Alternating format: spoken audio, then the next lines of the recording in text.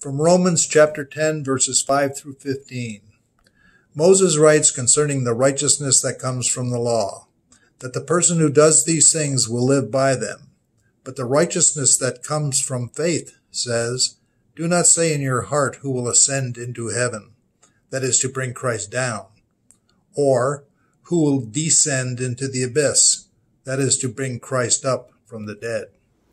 But what does it say? The word is you on your lips and in your heart. That is the word of faith that we proclaim. Because if you confess with your lips that Jesus is Lord and believe in your heart that God raised him from the dead, you will be saved. For one believes with the heart and so is justified, and one confesses with the mouth and so is saved.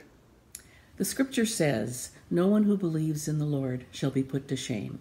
There is no distinction between Jew and Greek.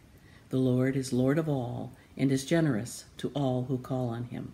For everyone who calls on the name of the Lord shall be saved. But how are they to call on one in whom they have not believed? And how are they to believe in one to whom they have never heard? And how are they to hear without someone to proclaim him? And how are they to proclaim him unless they are sent? As it was written, How beautiful are the feet of those who bring good news.